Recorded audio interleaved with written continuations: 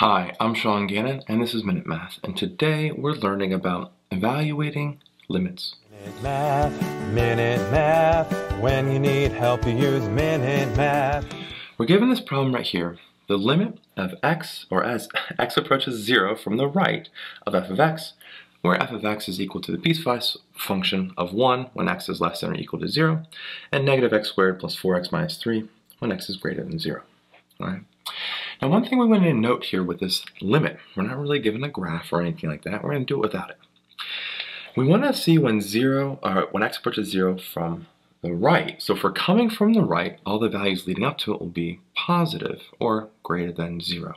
Okay, so we're going to focus on this second equation right here.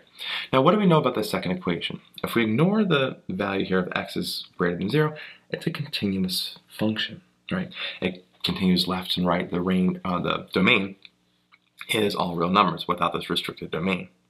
So if we're approaching from the right, and we know it's essentially right uh, unrestricted domain, we actually can just plug in that value because it's continuous, right? So we can plug in when x is 0 here to find what this limit's going to be. So we take the negative, put a 0 in for x squared, plus 4 times 0 minus 3, and let's simplify this, right? Or solve it, right? When f of 0. We'll solve it. Well, 0 squared 0. Don't need anything there. 4 times 0 is 0. And we have minus 3. Well, minus 3 is just left over. So that tells us here that the limit as x approaches 0 from the right of f of x is equal to a negative 3. And that is our final answer. I hope this video was helpful for you, and if it was, please subscribe to this YouTube channel and like this video. This helps us make more free math lessons for you and for everyone else.